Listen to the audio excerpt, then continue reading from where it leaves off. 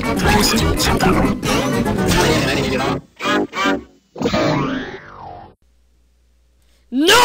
You have gone too far! That's because of copyrighted! Screw this.